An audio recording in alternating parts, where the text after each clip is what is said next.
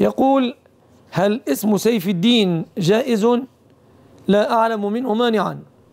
ولقد قال النبي صلى الله عليه وسلم في غزوة مؤتة في أحداثها أخذ الراية زيد فأصيب ثم أخذها جعفر فأصيب ثم أخذها ابن رواحة فأصيب ثم أخذها سيف من سيوف الله يعني خالد بن الوليد رضي الله عنه.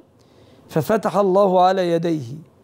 فخالد أطلق الرسول عليه سيف الله. فإذا تلقب شخص بسيف الدين جاز والله أعلم.